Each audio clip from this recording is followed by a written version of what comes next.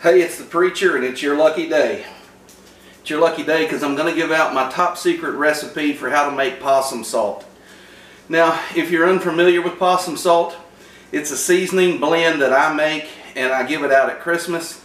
And this year I'm going to give the gift that keeps on giving. I'm going to give you your own recipe. That way you can make as much or as little as you want. You can have it anytime you want. You don't have to depend on me and the U.S. Postal Service to get you a bottle. So, uh, a little history on possum salt. I've cooked a possum once. Did a video on it. Cooked a coon once. And I got a lot of flack over that. You know, people kind of kidding me and whatnot. So I would say, oh, it was good, but it'd been better if we had possum.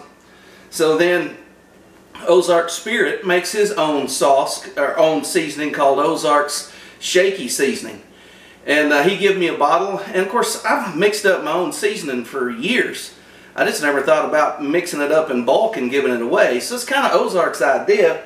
And uh, I just did what I've always done. So I start off with a seasoned salt. And if you want to make um, possum salt, you've got to start off with the best seasoned salt. And that's, uh, that's Lawry's. You can save a couple dollars and get Morton's, but I wouldn't tell anybody because they're going to figure it out on their own when they taste that inferior seasoned salt.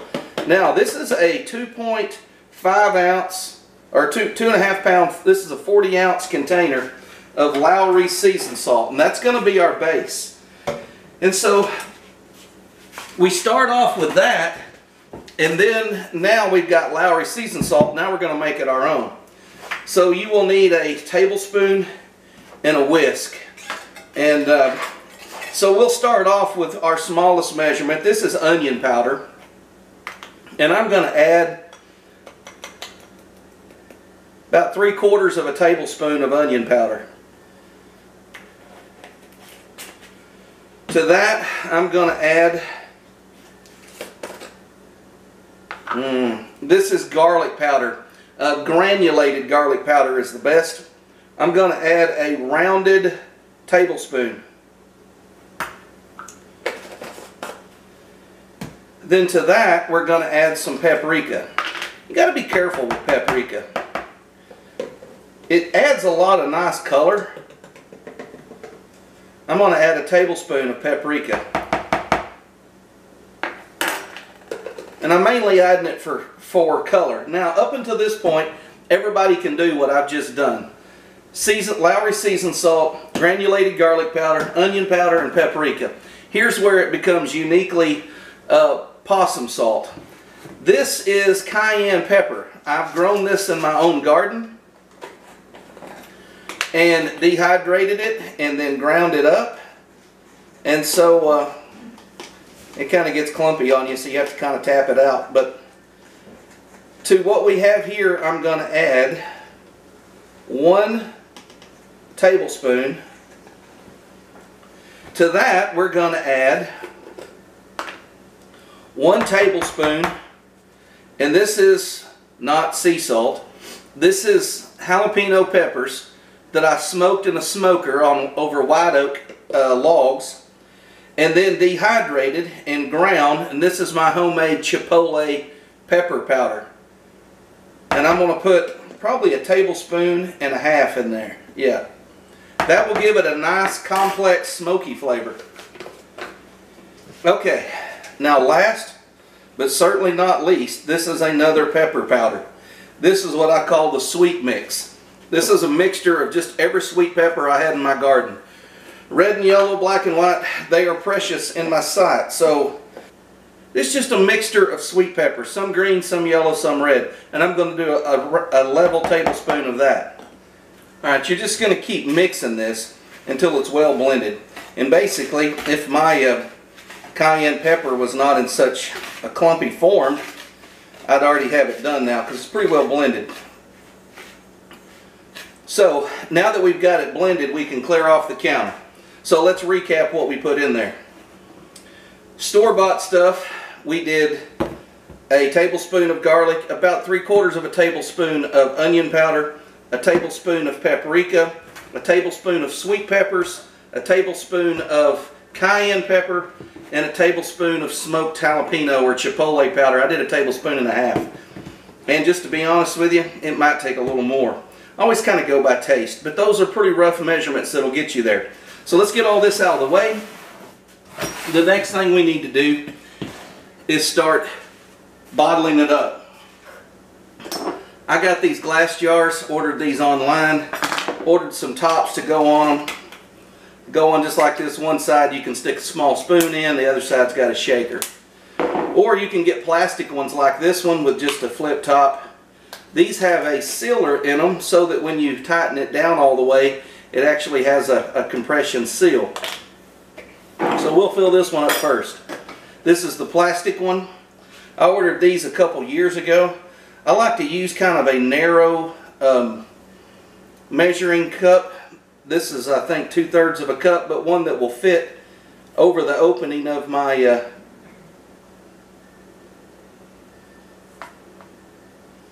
Okay, get it to the top, crank it down. Sure it's on there good. There's you a bottle of possum salt ready to go out. Now, the next thing you'll want to do if you want to get fancy, you'll start making labels. And so we make labels and put over here and uh, when you put a label on it, it just makes it look more professional, unique, like you spent a little more time in it. You didn't just grab up a bunch of stuff out of your cabinets and throw it together. There's your possum salt ready to go out the door.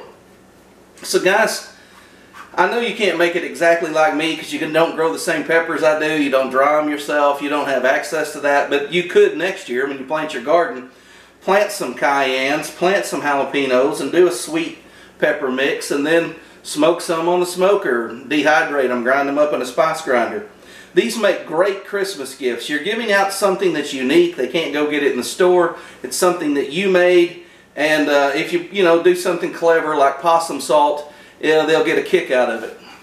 Now here, I'll give you a look at it up close. Uh, my daughter and a friend of hers in graphic design school designed the logo. And uh, it says good enough for possum, but you can put it on anything. And then a little bit about it. Guaranteed to have you grinning like a possum. Now once you get your possum salt made, you're going to want to put together a Christmas package for your family. And this is what my family's going to get this year. This is for moms, dads, brother-in-law, sister-in-law, uncle, this sort of stuff. I've made some of my own hot sauce. This is my pepper sauce. You've seen me make this. You haven't, you can uh, watch the video. I made a red and a green Tabasco sauce. Uh, this is chow chow that we make and can it. Uh, there's the chipotle pepper sauce. I just buy these little two ounce spice containers, make a label for them. Blackberry jelly, grew them right in the backyard, made jelly, cayenne pepper to go with that. This is some salsa that we canned out of the garden. And uh, blueberry jam, made that as well. Um, this is a garden infused olive oil, so I dehydrated some peppers, onions, and garlic and uh, put it in olive oil to let the flavors meld together. And then of course your possum salt. Now when you give this out at Christmas, you're not just giving them you're not just giving them um, some jelly or, or the Jelly of the Month Club. You're actually giving them something that you've handmade for them, and uh, I think it's a very uh, very special gift and uh, I, I love giving out the possum salt, but at the same time, people ask me, what's in this? What's in this? You know, where do you buy this? Well, you saw it. That's how I make it. You can make your own. You can make something very similar to it. But the thing about it being homemade, there's no two batches that are the same. So anyways, I hope you guys have a Merry Christmas. I hope you enjoy the video. And I hope if you don't get possum salt in your stocking, you'll make your own this year. Thanks for watching.